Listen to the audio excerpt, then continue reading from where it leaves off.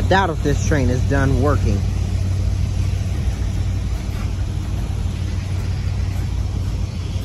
This is the first time they've gotten a signal since they pulled up about three or four times.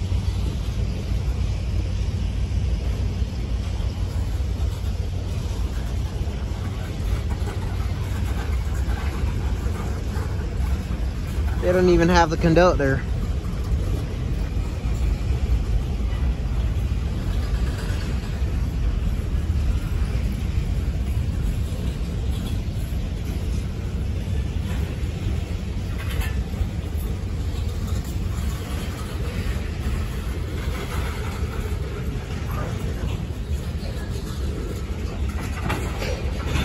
There they go clutching to slow down already.